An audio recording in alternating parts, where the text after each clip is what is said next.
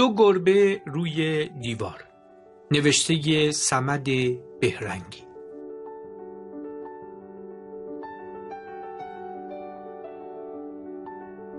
یکی از شبهای تابستان بود. ماه نبود ستاره هم نبود هوا تاریک تاریک بود. نصف شب بود. سوسکها آواز میخواندند و صدای دیگری نبود. گربه سیاهی از آن طرف دیوار میآمد. سرش را پایین انداخته بود بو می‌کشید و سلانه سلانه میآمد. گربه سفید هم از این طرف دیوار میآمد. سرش را پایین انداخته بود بو می‌کشید و او هم سلانه سلانه میآمد. اینها آمدند و آمدند و درست وسط دیوار کله هایشان خورد به هم. هر یکی یک پیف پیف کردند برای همدیگه و یک وجب عقب پریدند. بعد نشستند و به همدیگر زل زدند. فاصلهشان دو وجب بیشتر نبود. دل هر دوتاشان تاپ تاپ می‌زد. لحظه ای همینجوری نشستند چیزی نگفتند لندیدند و نگاه کردند. آخرش گربه سیاه جلو خزید. گربه سفید تکانی خورد و تند گفت میاو یعنی جلو نیاو. گربه سیاه محل نگذاشت. باز جلو خزید. زیر لب لند لند کرد. فاصلهشان یک وجب شده بود. گربه سیاه باز هم جلوتر میخزید. گربه سفید دیگر معطل نشد.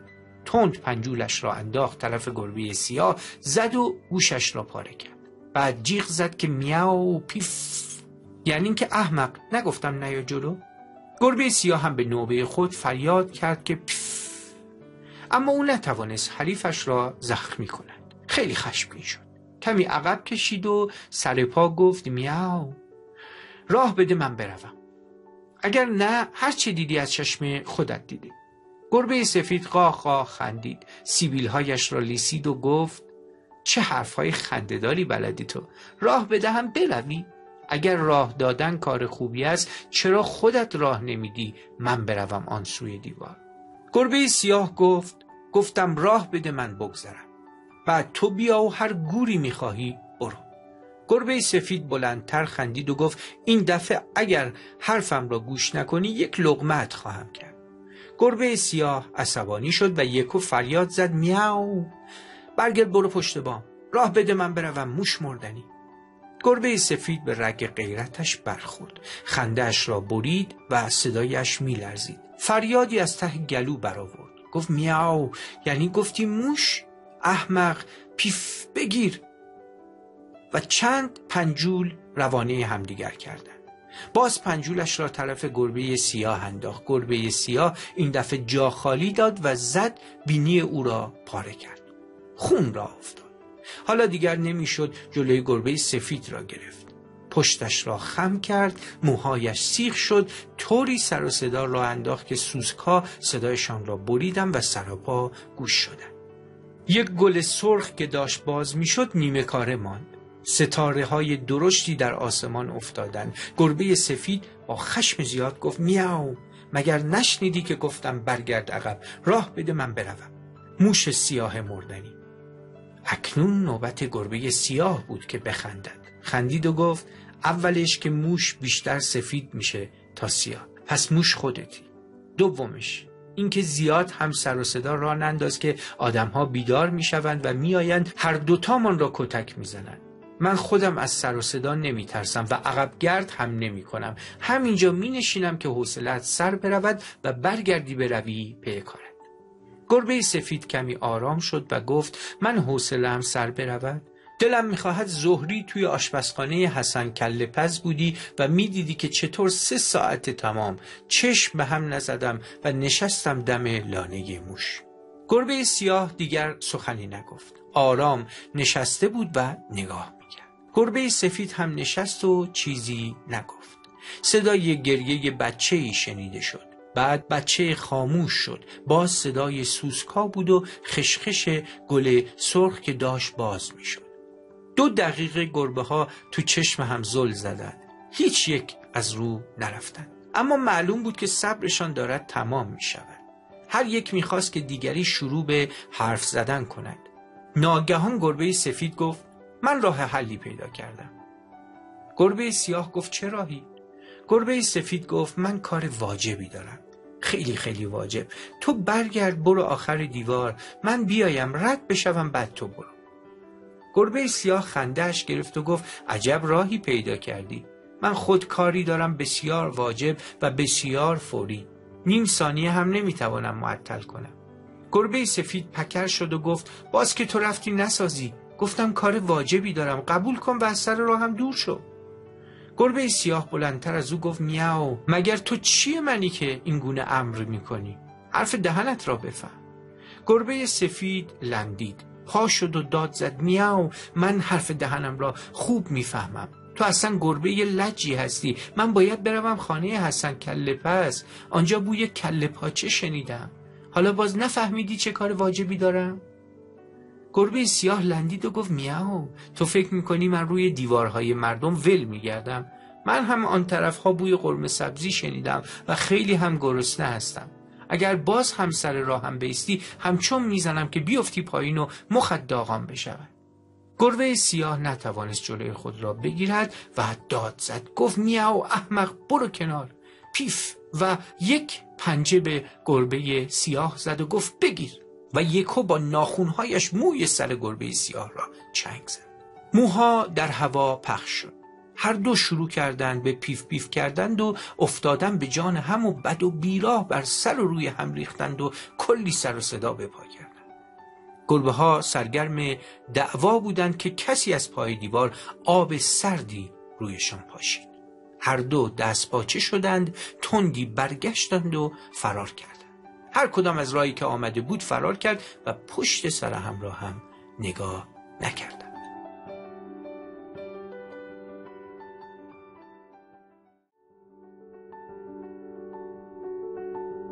عادی و بودی. نوشته سمد بهرنگی.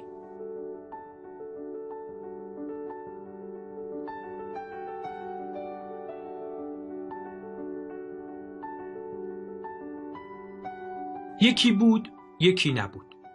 مردی بود به اسم عادی و زنی داشت به اسم بودی.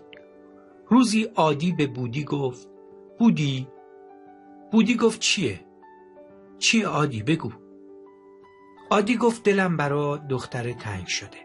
پاشو بریم یک سری بهش بزنیم. خیلی وقت ندیدیم. بودی گفت باشه سوقاتی چه ببریم؟ دست خالی که نمیشه رفت. عادی گفت پاشیم خمیر کنیم تو تک بپزیم. صبح زود میریم. شب چله زمستان بود. محتاب هم بود. عادی گفت تنور خدا روشن است دیگر. لازم نیست تنور آتش کنیم. خمیر را چونه چونه چسباندند به دیوارهای حیات و رفتند خوابیدند.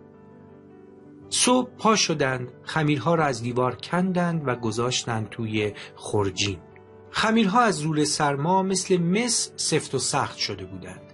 توی تنور کله پاچه بار گذاشته بودند روی قابلمه را پوشانده بودند.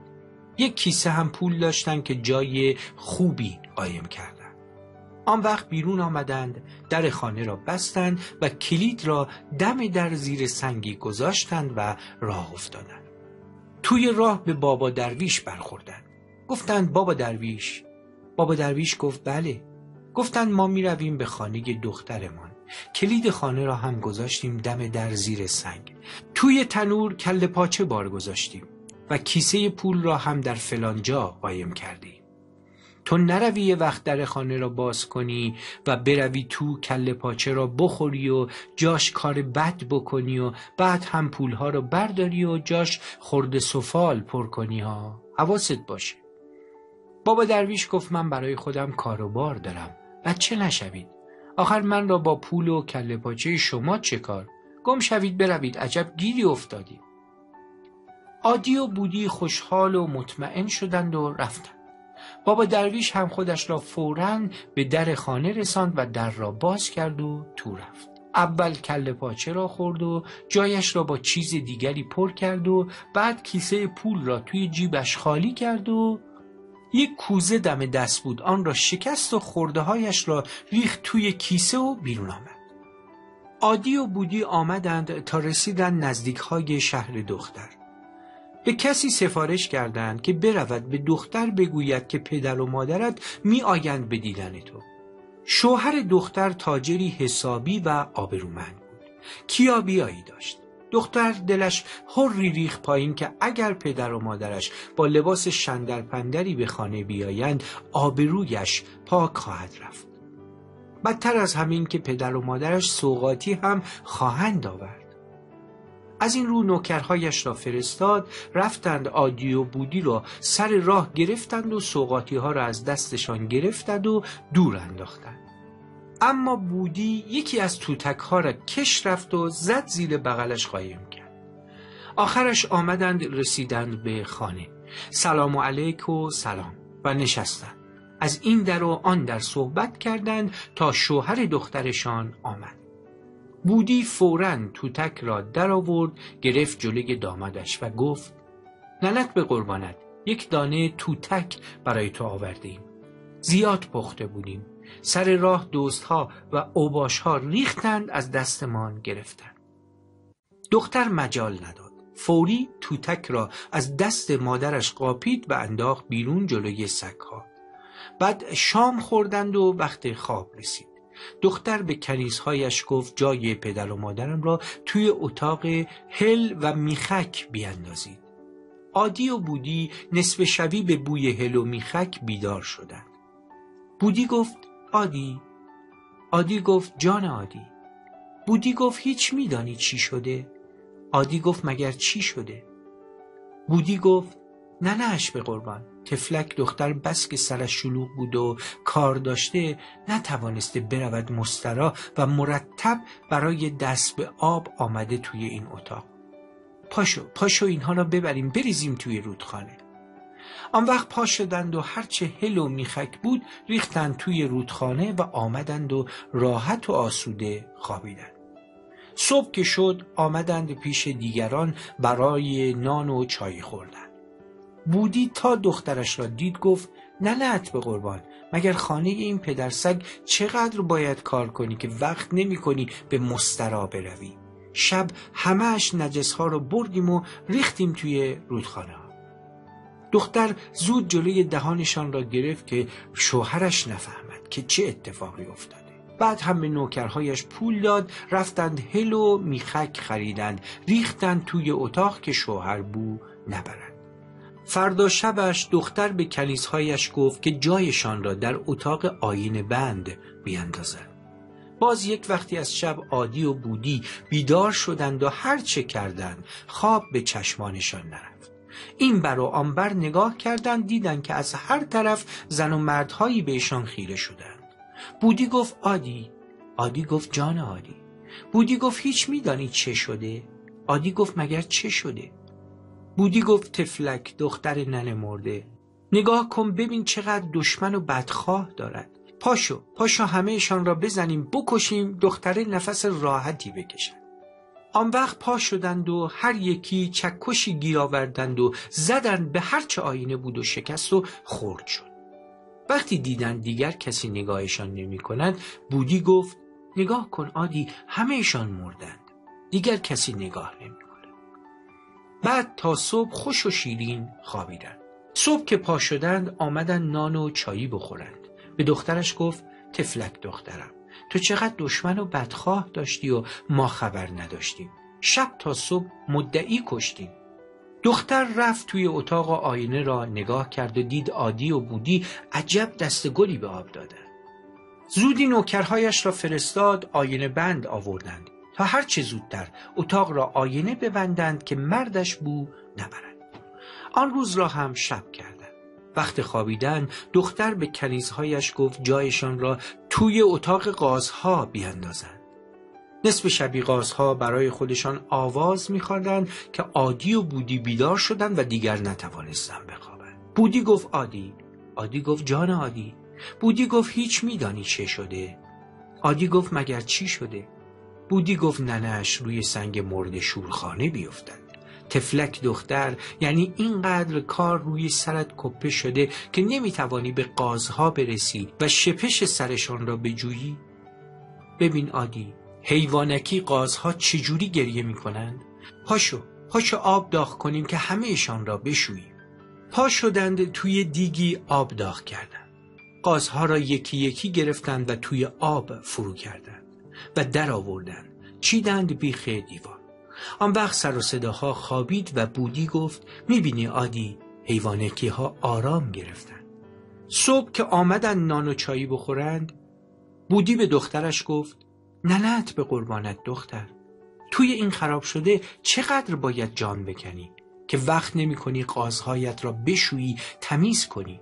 شب آب داغ کردیم همهشان را شستیم تا گریهشان برید. دختر دو دستی زد به سرش که وای خدا مرگم بدهد. زلیل شده ها مگر نمی‌دانید قازها شب آواز می‌خوانند؟ باز به نوکرهایش پول داد که بروند قازهای دیگری بخرند بیاورند تا شوهرش بو نبرند شب چهارم جای عادی و بودی را در انبار نفت انداخت. نفت را پر کرده بودند توی کوزه ها و بیخ دیوار ردیف کرده بودند. بودی نگاهی به کوزه ها انداخت و گفت عادی عادی گفت جان عادی. بودی گفت تفلک دختر فهمیده که امشب می‌خواهیم حمام کنیم کوزه ها را پر آب کرده. پاشو پاشو آب گرم کنیم خودمان را بشوییم. آن وقت پا شدند و نفت را گرم کردند و ریختند سرشان و همه جایشان را نفتی کردند و لحاف تشکهایشان را هم نفتی کردند.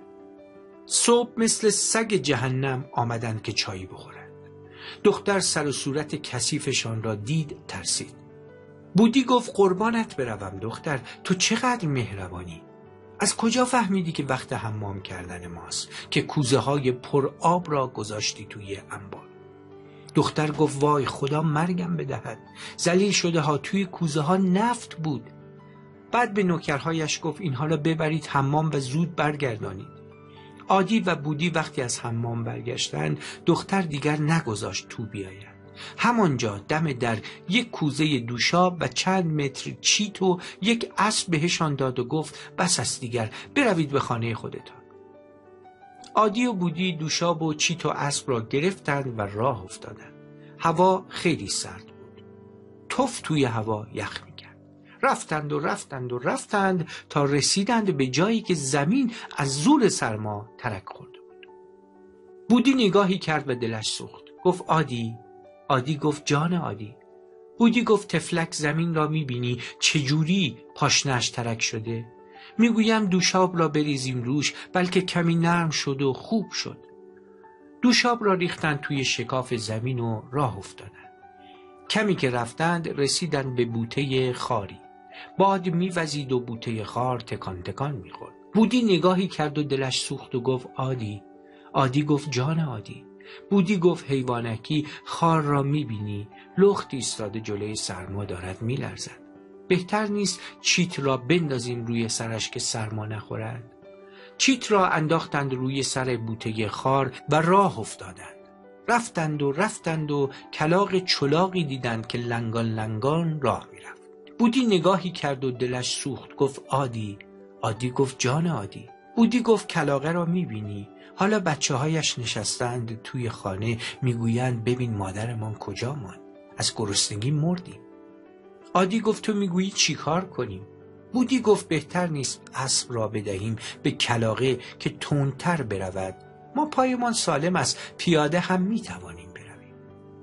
اسب را ول کردند جلوی کلاقه و راه افتادند و رفتند. کمی که راه رفته بودند به بابا درویش برخوردند. گفتند بابا درویش. بابا درویش گفت بله. گفتن نرفتی که کله پاچه را بخوری و توی قابلمه چیز دیگری بریزی بابا درویش گفت نه بابا مگه بیکار بودم که بروم کله پاچه بخورم. گفتند بابا درویش. گفت بله. گفت نرفتی که کیسه پولمان را خالی کنی و جایش خورده سفال پر کنی. بابا درویش عصبانی شد و گفت بروید بابا گم شوید. شماها عجب آدمهایی هستید. عادی و بودی خوشحال شدند و گفتند بابا درویش. بابا درویش گفت باز دیگر چه مرگتان است؟ گفتند بابا درویش نروی چیت را از روی بوته خار برداری و اسب را از کلاقه بگیری ها. بابا درویش عصبانی شد و فریاد زد گورتان را گم کنید بابا. شما خیال می‌کنید من خودم کار و کاسبی ندارم و همش بیکارم؟ گم شوید از جلوی چشمم. عادی و بودی راه افتادند. بابا درویش رفت و چیت و اسب را صاحب شد. عادی و بودی وقتی به خانهشان رسیدند قابلمه را درآوردند که نهار بخورند. دیدند بابا درویش کارش را کرده. از کله پاچه نشانی نیست. رفتند سراغ کیسه پول دیدند که به جای پولها تویش سفال پر کرده دو دستی زدند سرشان و نشستند روی زمین.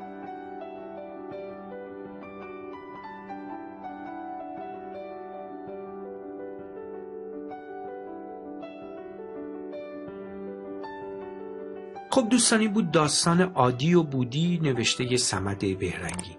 مرسی از اینکه ما رو تماشا کردید. لطف کنید ما رو سابسکرایب کنید. حتما اون زنگوله‌ی کنارش رو بزنید تا ویدیوهای بعدی اون براتون بیاد و بتونید ببینید. لطفا ما رو به دوستان کتابخونتون معرفی بکنید. اگر پیشنهادی هم دارید حتما توی کامنت ها لطف کنید برامون بنویسید. و بسیار بسیار ازتون سپاسگزاریم که بیننده کانال خودتون کتاب من هستید.